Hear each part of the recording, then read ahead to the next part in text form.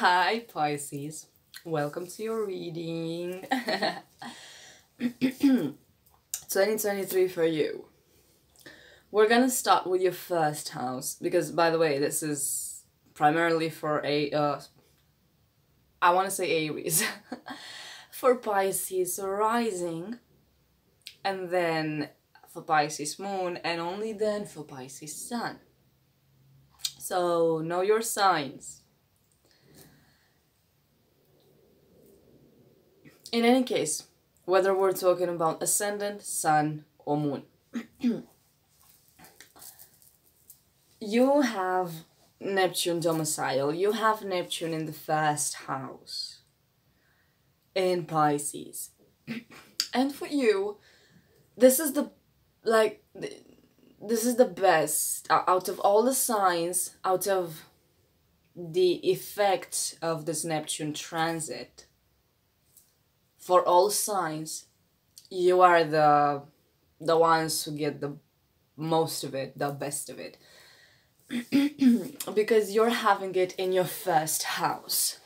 And it's uh it's best to have it in the either in the first, either in the twelfth in any other house, it involves loss, it involves confusion. Uh, it's uh, far more complicated. But, but for you, since this is your first house and you've got domicile in the first house, this means that you have a proper insight into your identity, into yourself, into who you are. Because the first house is all of these things. It's your body, your identity, your demeanor, your sense of self, and the way you perceive yourself, and the way others perceive you as well on a first impression. And your uh, first choice always, whenever you have a choice to make, the your first tendency, your first choice would always be dictated by the first house nature. now, with domicile in this house, there is an emphasis on who you are, and since you've got Pisces first house, it's um, the higher manifestation of this transit means that you are getting a lot of insights into who you are beyond the physical identity, beyond the worldly identity. You're getting a lot of insight into who you are as the soul. You're getting a lot of insight into your spiritual identity. And possibly even past lives and your avatars from other worlds. And um, more or less avatars, let's call them incarnations from other worlds. And your yourself in terms of who yourself is beyond incarnations. So it's a really marvelous transit to have. And the more you consciously focus on this, the more this will manifest as what I said it will, because this is the highest manifestation of it. And whenever I do a reading, I focus on the highest manifestation so that you you yourself focus on that so that you guide that energy towards its highest manifestation now obviously if you have placements in the first house this will get variations. But on a general level this is what it is. And neptune will continue to be there for 2023 as well. It's been in Pisces for some years. It's been in Pisces since 2011 and it will still be in Pisces. It will not change signs in 2023, so it's uh, ongoing. It's an ongoing process of diving deep into your Piscean nature. Your clairs may get amplified as well. Clairvoyance, clairsentience, claircognizance, clairaudience um, your ability to communicate with other realms and your visions and all of those psychic prowesses can get amplified. You may even see things from other worlds far clearly, and your dreams can get a lot more symbolical and more and deeper in meanings, and you may even um, get the nuance of those meanings of your dreams and all the symbols you're seeing, all the omens you're seeing, and start understanding that you you yourself are um, are a fragment of a great, a, a divine greatness. I love you, Pisces. Now, Saturn is going to move into your first house. Neptune will not get out of the first house. So you will still have domicile. But Saturn will get into your first house. And to have Saturn and Neptune in the same house, it's a clash of two worlds.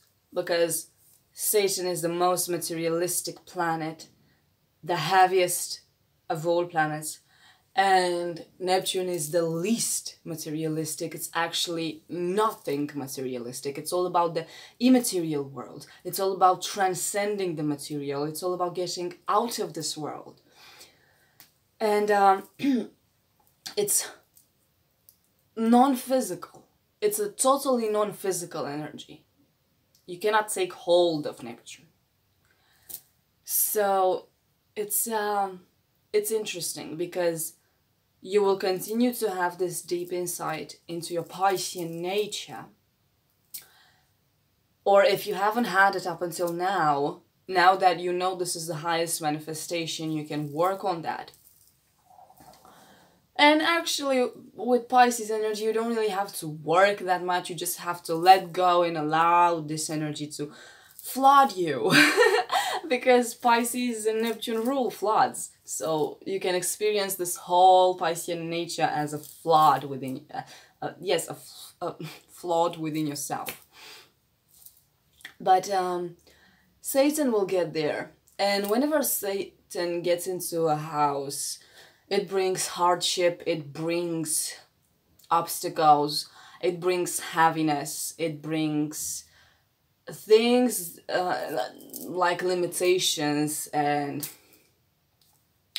restrictions that well it is said that the highest manifestation of those or or better said the highest result of those would be maturity and gaining some discipline in in whatever area of your life that is. But in itself it will come with heaviness.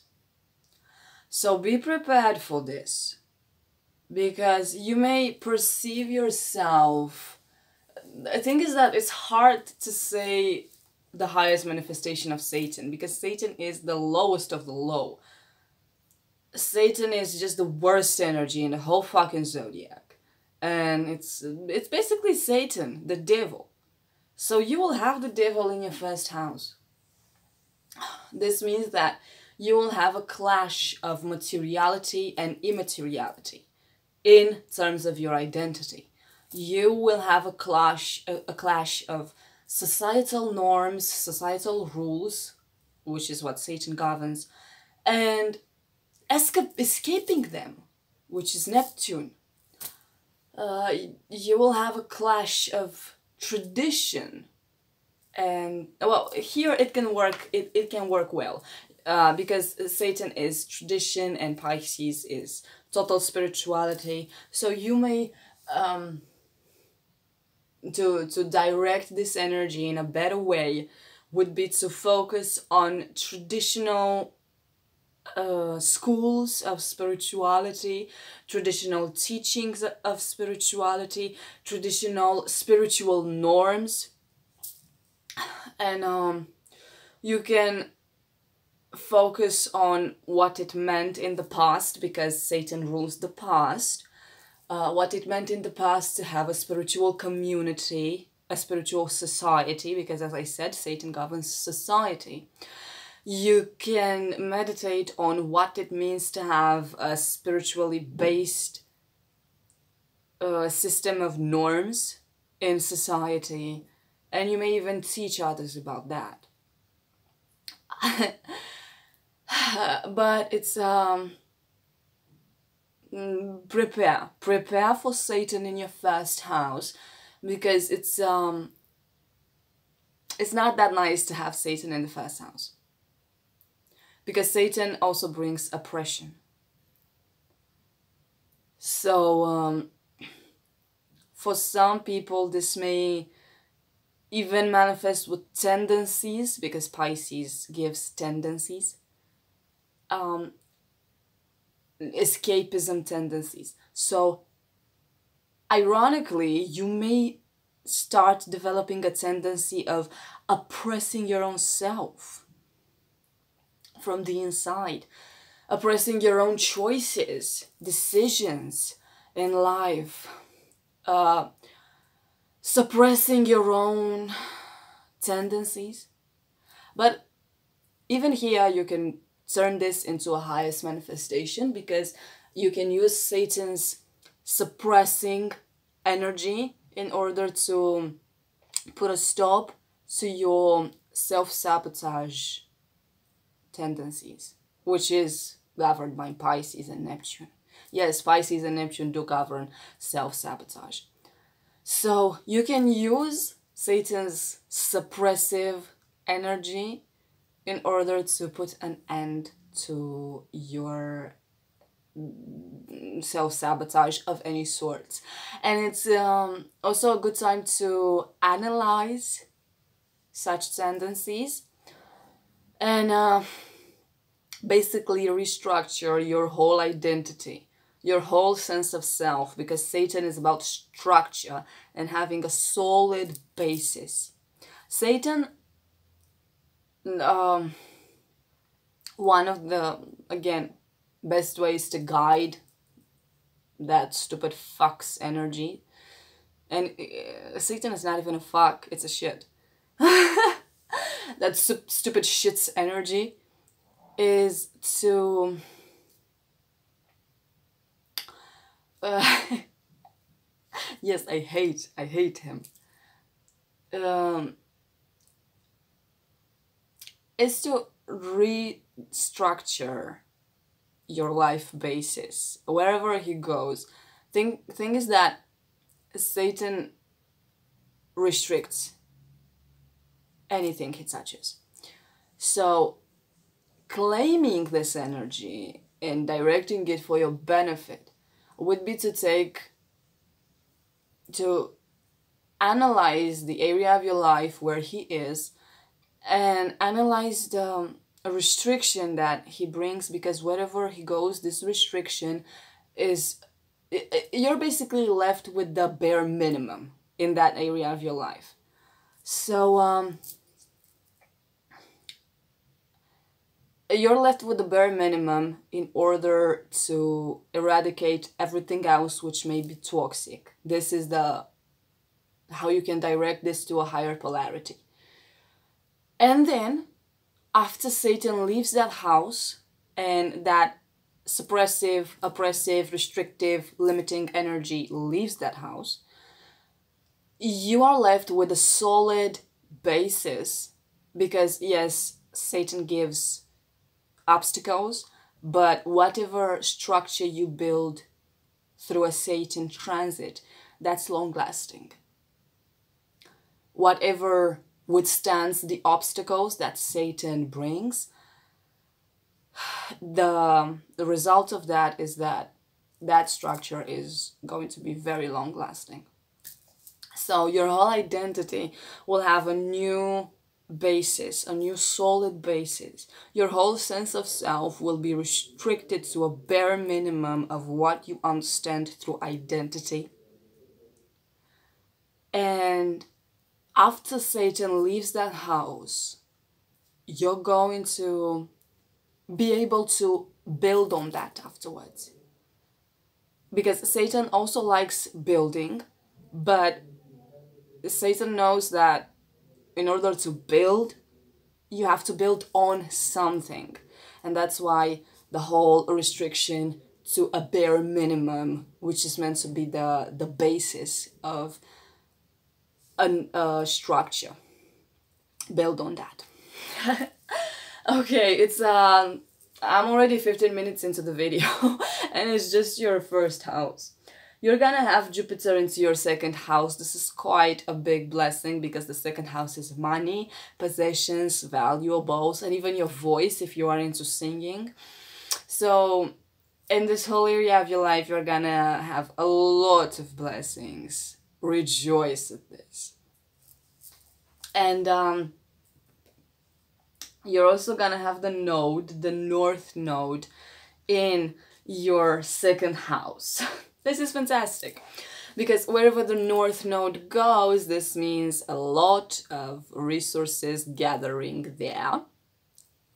And this means that, well, the the second house is the house of resources. And since the north node, which is an energy of a lot of resources gathering in that area of your life, since the north node goes into the second house area of your life, which is money and resources and possessions, well, guess what this is going to mean? Not only will you have Jupiter there, you will also have the north node there from the midpoint of 2023. The, the nodes will change mid 2023. So, mid 2023, you're gonna get a boom in this area of your life you're basically gonna get a lot of money, possessions, food as well, because the second house is food. Uh, your voice may also get deep tones because uh, the the north node will bring some kind of depth to your voice. And uh, yes, a lot of resources gathering in this whole area of your life, and it's fantastic you already you have a a great forecast. Congratulations. now you're still gonna have Uranus in the third house, which means you have a lot of innovation on your mind. Your thoughts, ideas are very innovative. You may even perceive them as some kind of genius ideas.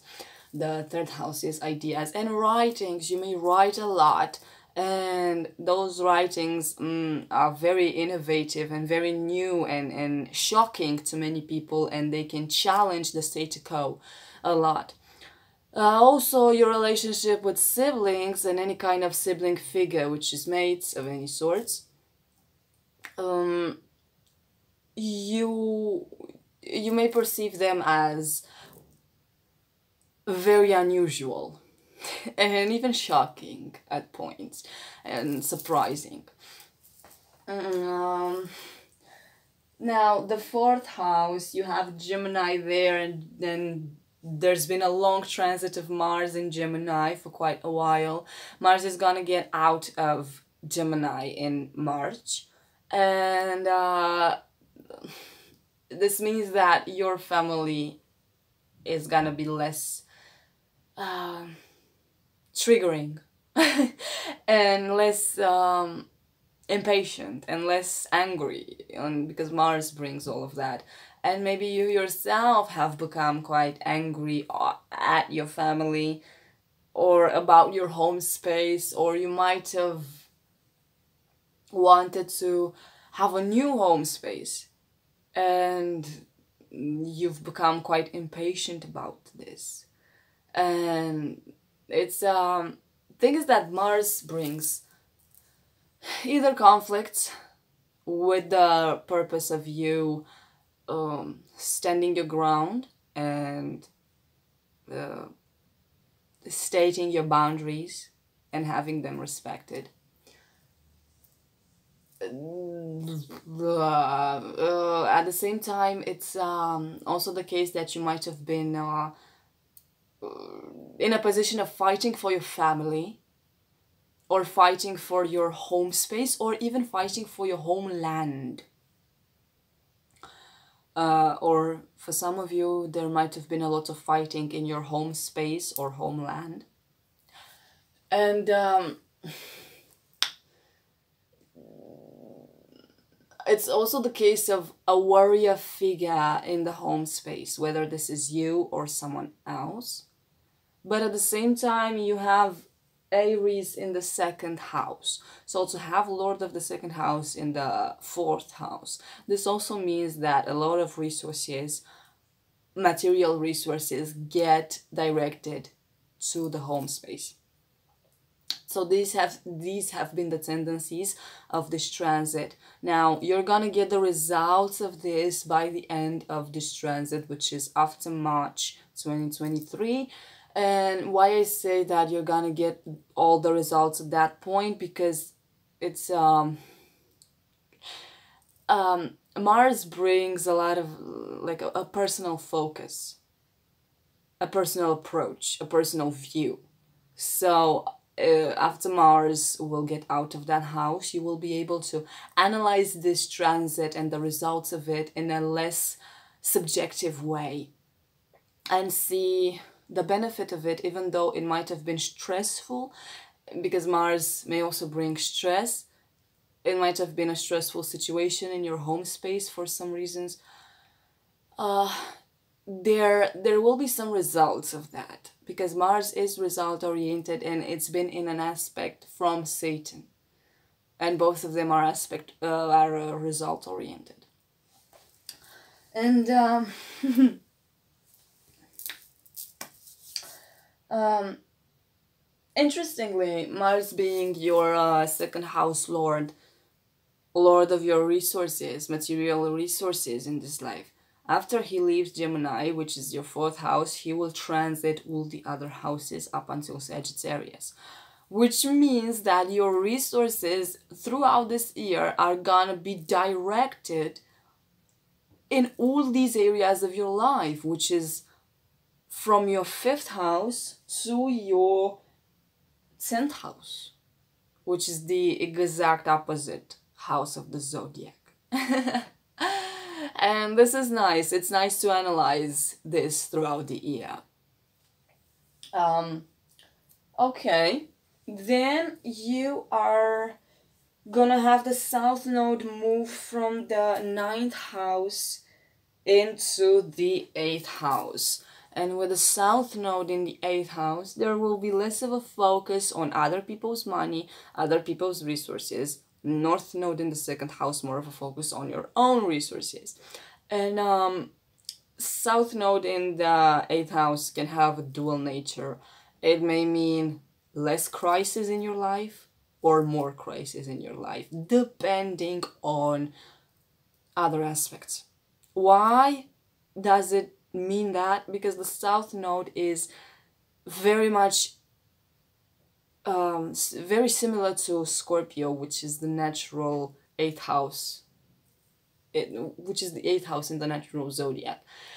So mm, it has a very similar tone to it, and that's why it may manifest as a shutting off of crisis or an amplifier of crisis in your life at some points. And um, well, don't get panicked, it's not that much. It's not as if the north node is in your eighth house, which would really be an amplifier of crisis.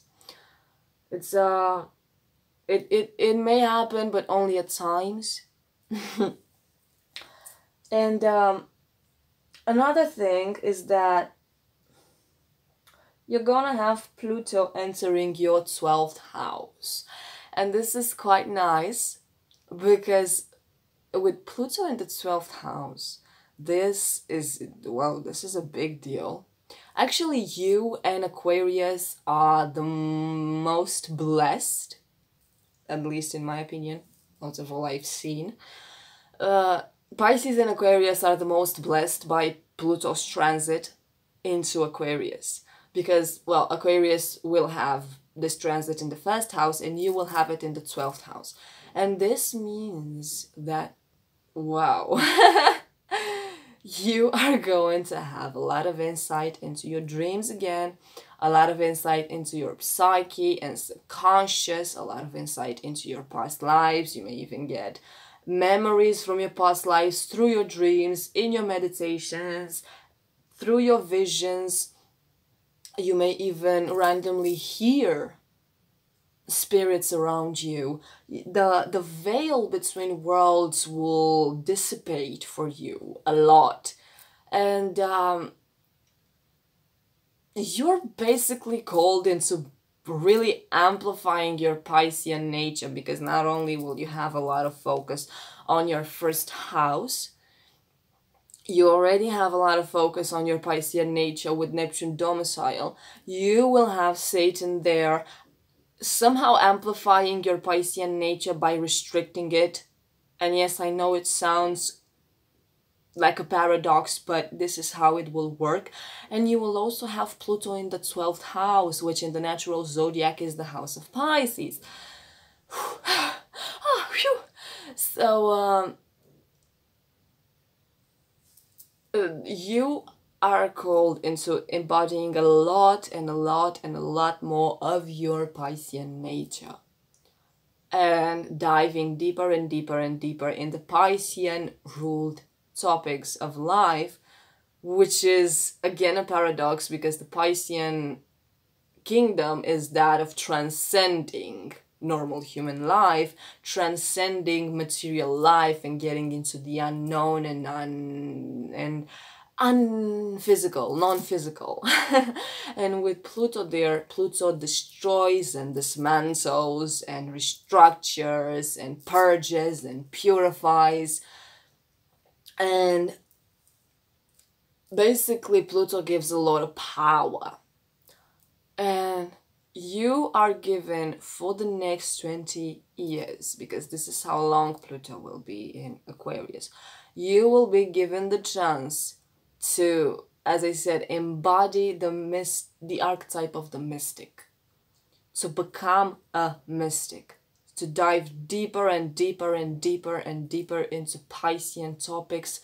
No matter what your realm of study is, you may even not need that much study into it because you will even be able to meditate on it and hear insights from the spirits around you. And no reason to be scared it's your spirit guides. And hear insights from either your spirit guides either your own self the soul you insights about those things. You may even get a lot of knowledge from the non-physical realm by meditation or through the dreams. But it is a, you cannot get this insight by not paying attention to it. You you have to meditate on it and pay attention to it because this is what pluto asks. It asks for analysis and deep analysis and diving deep into our psyche. And pluto brings unification of the subconscious and conscious minds this is why pluto rules psychology but not what currently humans understand through psychology because it's majorly shit what humans understand through psychology at the current moment. Psychology, real psychology, is that of the spiritual, is that of understanding how your subconscious mind is tuned not only to the past of this life, because this is just a drop in the iceberg how your subconscious holds the memory of your past lives. And as I said, the soul who you are beyond your incarnations and lives. So all of that may you can hold the key of accessing that knowledge with this transit.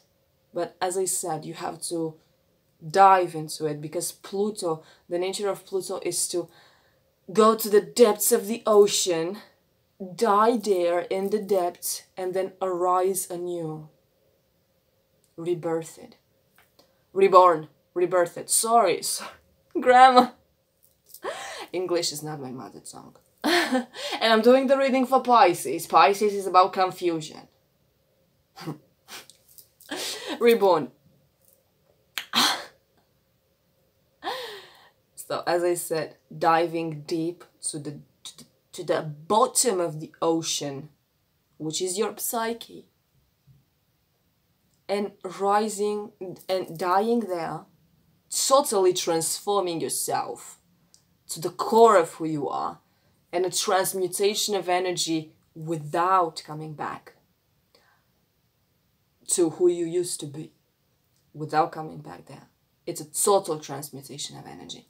And then, once you are reborn, you rise again to the surface with the knowledge of what you saw in the depths of the ocean of who you are. This is fantastic. It's very beautiful.